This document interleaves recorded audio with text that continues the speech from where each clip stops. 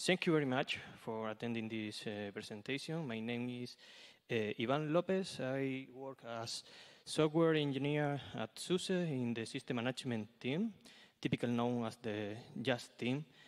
Here you have some contact info, uh, some information contact in case you want to reach me. And I'm here today for telling you about the new project we are developing in our team, the so-called D-Installer. So let's start with some introduction. Um, well, the first thing we would like to make very clear is that this new project is not a replacement for YaST. YaST will continue being there in the products that is now, for example, in SLE 15 and also in the future service packs of SLE 15, also in the current version of OpenSUSE Leap. We don't know about the future for both, for SUSE and OpenSUSE, but at least for the current versions, YaST will continue there. Uh, well, for the new project, well, last year, more or less in summer, we started to have some discussions in our team about how the installer should look in the near future. And we had some ideas in mind. For example, we wanted to reduce the number of steps you have to perform with the YaST installer.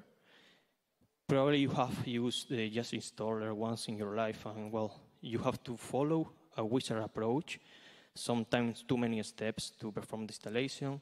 So we did some experiments modifying the YaST installer basically by ending at the end of the installer with the last uh, dialog with the installation settings screen with some default proposals and al allowing you to yeah, to touch the settings di directly there in the in the in that dialog without going uh, through the whole wizard.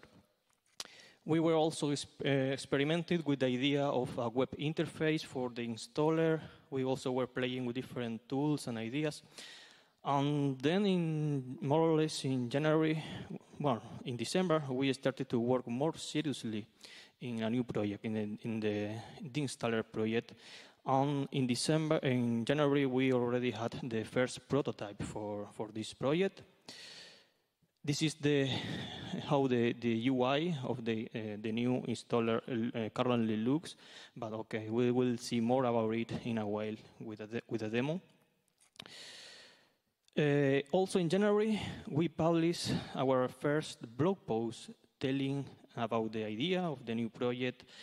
And in general, well, it was uh, quite well received by the community, but it's true that there is always a common complaint, and it's about the name. Uh, yeah, uh, we totally agree because uh, installer sounds um, right the opposite of installing a system. We are aware of that, and sooner than later, we are going to propose uh, a new, a better name for, for the project. Anyway, we are open to suggestions. So if you have any proposal, please give feedback to us. We will be very grateful. Uh, well, and just out of curiosity, also in January, only one week before we publish our first blog post, we realized that the Anaconda team in Red Hat is doing something very similar to us. They are also implementing a web user interface over Anaconda using a installer service, uh, sorry, sorry, a D-Bus service for communicating uh, with, with, the, with the system. So from the architectural point of view, both ideas are basically the same. Of course, each project has its own requirements and use cases, but, uh, but the, the idea is the same. Uh, yeah, it was a great coincidence that two different group of people a different part of the world started to do more or less the same at the same time. Uh, okay, so let's now talk a bit about the motivation and, and the scope of this project.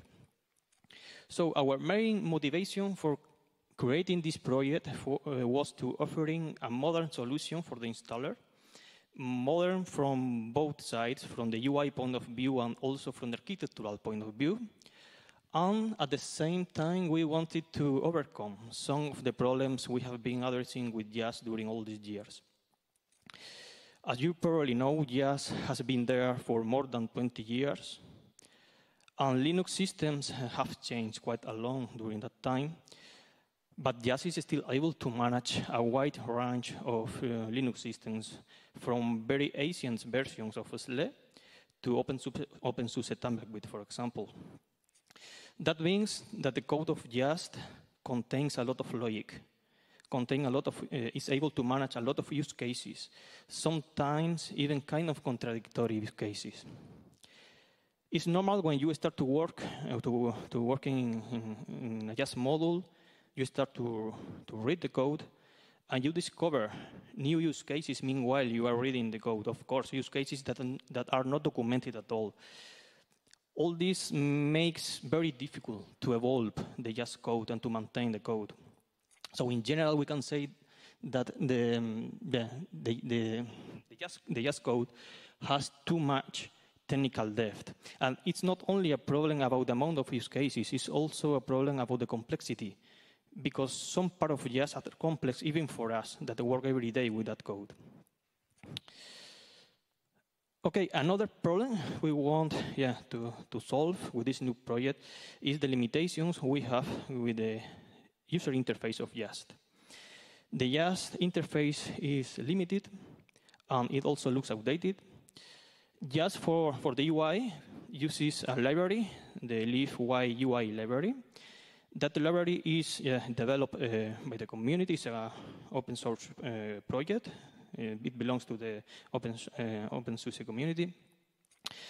And yeah, is, this library has been a key part of YaST because it allows you to write the UI uh, code once and then render it with different technologies, for example, with Qt, with uh, ncurses, or even with GTK.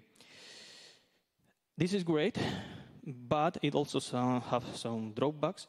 For example, the UI design is always limited by the more restrictive technology, in this case by uh, ncurses. Um, part of that, also the amount, uh, the, set of widgets is also limited and so on. So all that make very difficult to create modern and advanced UIs within YaST. Then another, well, not everything is bad in YaST. In the four or five years, we have put a lot of effort on improving some key modules of YaST. For example, we have rewritten from scratch the YaST storage module. We have improved a lot YaST network, some part of YaST users, only for mentioning some of them. And well, and it would be great to reuse all that effort in other projects. I'm thinking, for example, on using some tool like Salt, for example, and delegating to YaST decoration, for example, the partitions or the, configura the configuration of the bootloader or, or that kind of things. Right now it's possible to do that, but yeah, if you want to reuse some part of YaST, most likely you have to carry with all the YaST dependencies, sometimes even graphical uh, dependencies. So that is another motivation to improve the reusability of, of all the four we have been done in, in YaST. And last but not least, we also want to make contributions easier. We know that contributing to YaST is not an easy task. Maybe because we lack of good documentation, maybe because the complexity of the, of the code, or even because it's difficult to find uh, um, people uh, knowing the specific technologies we we use in YaST, for example, libyui. So that's something we have in mind to also improve the contributions in the new project. Then about the scope of the project, well, to be honest, we don't know yet what specific use cases and products we are going to support with this new installer. At this moment, we are taking part of some um, ALP workgroups. ALP is the adaptable Linux platform we are developing in SUSE. If you don't know about it, I highly recommend to watch some record recordings from yesterday. And well, as I was saying, we are taking part of uh, some work groups. We are discussing ideas. We are trying to collect uh, use cases, requirements, etc. And yeah, our goal is to use this new project for ALP, for both for the local, also for the remote installation of bare metal systems. But let's see. We are still trying to, yeah, to find the specific use cases yeah, we need to implement. Um, yeah, so now we are going to really see a, a demo. Uh, well, in case you in case you you want to to try the, this new installer, you can download the live ISO image that we have we have prepared in in OBS. So if you go to the YaST:Head project in OBS, there is a installer subproject, and you can download the ISO image from there. So, okay, now I'm going to switch to the demo. No, before switching to the demo, well, I have to comment something when you run the, the ISO uh, image, uh, well, first of all, if you are going to try it, I, we strongly recommend to use a virtual machine because you know this is an experimental project. Um, well, seed sometimes happens. Uh, well, but in case you do it, the first things the, the, the installer does when you when you run it is uh, yeah, is the so-called probing phase. During this phase, the installer tries to, uh, to analyze your system, your storage card, uh, uh, network cards, storage devices, etc. And in case it needs some information for you, for example, if you have encrypted partitions, for example, it asks you for the encryption password in case you, you want to, to open your, your devices before performing the installation. For the demo, I have omitted the, this, this, this proving phase because it takes some, some time. So now, oh.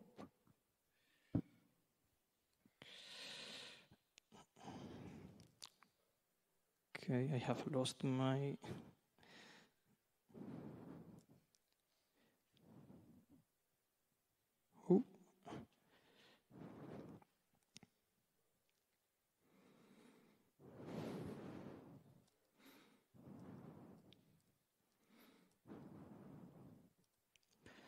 Okay, for some reason the yeah the virtual machine was closed and I have to open it again.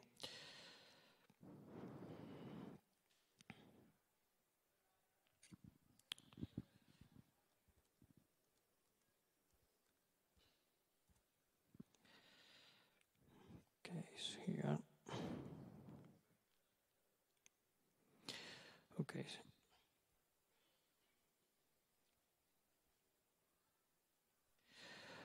Okay, so here on the right we have the yeah, the the main dialog of the of the install the new installer.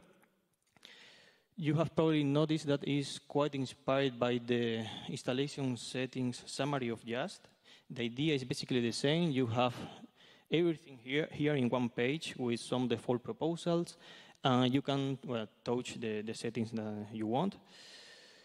The first thing uh, you, you can modify is the, the language for, for the target system. For now, mm, this only affects to the display language. The keyword is always in English in the, in the, in the target system. This is something we will improve. Then the next option is for selecting the product to install. Again, here for this de demo, we have only the tumbleweed, but it theoretically is also possible to install different versions of OpenSUSE Leap with the current state of, of the project. Then we have a section for selecting the target disk in which you want to perform the installation. And below you have the actions that are going to be performed on, on the selected disk. Here you can expand also the, the subvolume actions. And then the last section is well, about config configuring users. You can create the first user for your system.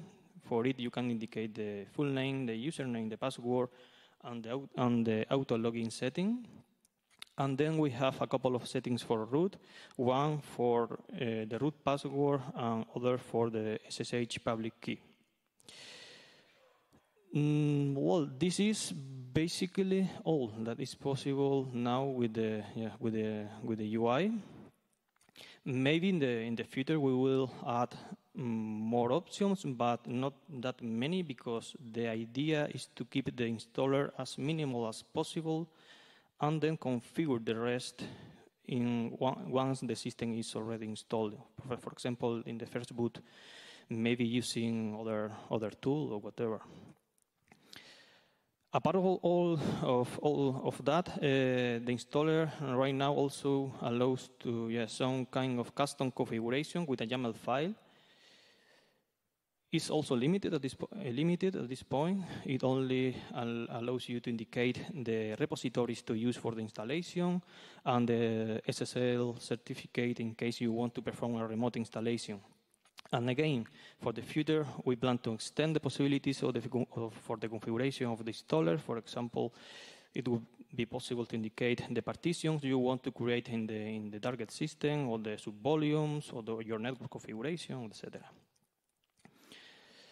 Okay, if you click on install, you get this confirmation pop-up. If you accept the, install, the installation, simply start. I'm not going to do it because it takes some time. Um, yeah, but basically, if you perform the installation, you uh, get?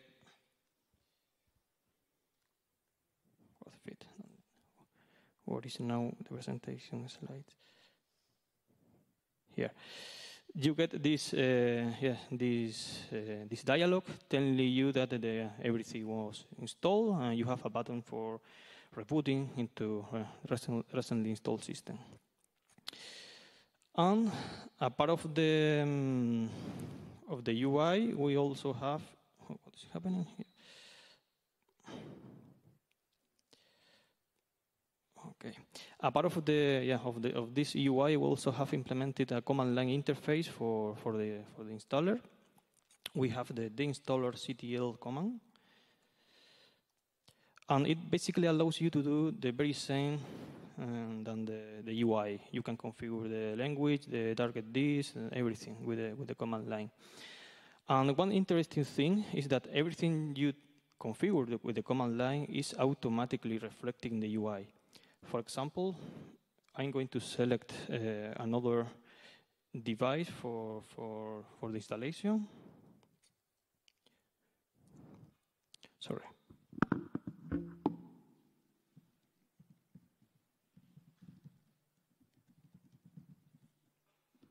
If you have a look to the right, now the target disk is vda, vda and I'm going to select vdb.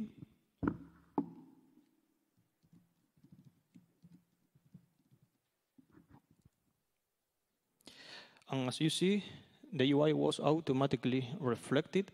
And this is because we are using DBus. And, uh, well, our UI is continuously listening to DBus and is able to automatically react to the events that are happening there. Okay, I think that's all about the demo, so let's continue with the rest of the presentation. So about, let's now talk a bit about the technical details, how all, all this is, is done. So the key part of this project is a service. We have created a installer service. This service takes care of uh, yeah, uh, configuring the installation or, and performing the installation in, in, in, the system. One thing that maybe surprise you is that this service is actually using YaST libraries under the hood.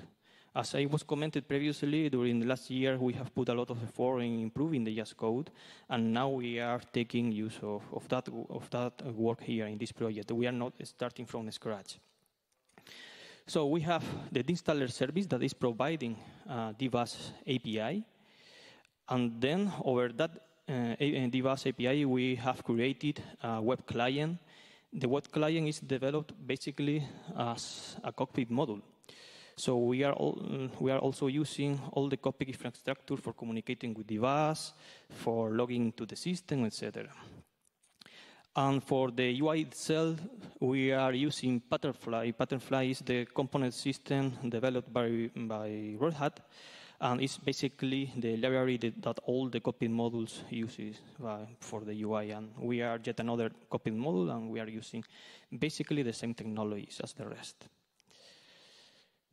Okay, this now is well, another representation of the architecture. So we have the, the installer services using YaST libraries and providing a DBus API. And then over it, we have the web, uh, the web interface.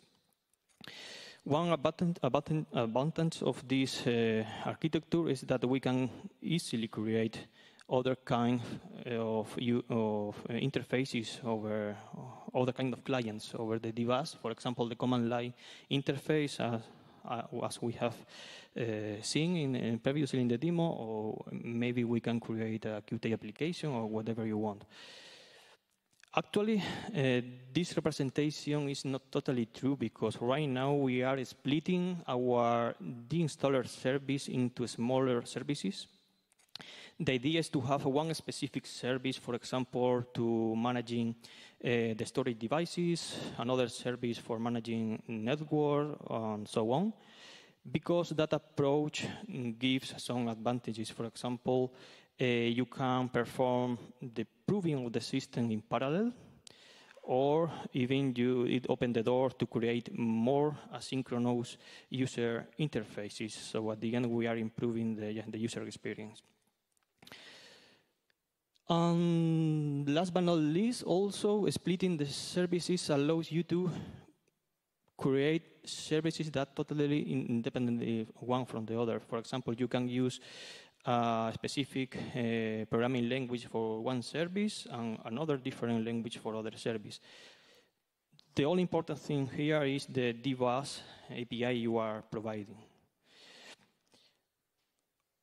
Okay, so now about the future of the project. Well, as I was commenting previously, we don't know yet exactly what products and use cases we are going to support, but still we have in mind some things that we uh, would like to continue doing. And one of them is to implement the unattended remote installation and also the integration with Suma.